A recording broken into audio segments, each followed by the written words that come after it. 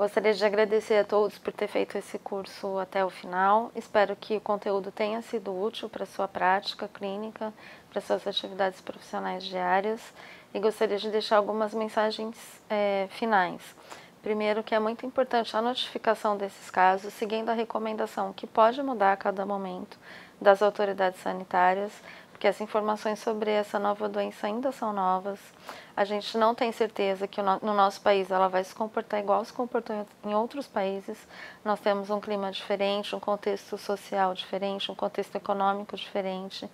É, então, apesar de ser um tempo a mais que a gente usa para preencher uma ficha, é, online ou no papel para enviar, dediquem-se a isso porque a disseminação de informações confiáveis é muito importante para a gente entender e para continuar o combate. Né? Ainda nesse tema da disseminação de informações, a gente preparou esse curso com base em informações oficiais é, do Ministério da Saúde do Brasil, da Organização Mundial de Saúde e do site da própria Fiocruz, com é, pesquisas, informações, interpretações que os nossos profissionais estão dando no decorrer do tempo.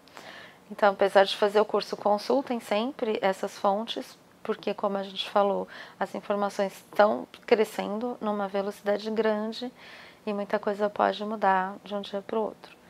É, boa sorte para todos e até o próximo curso.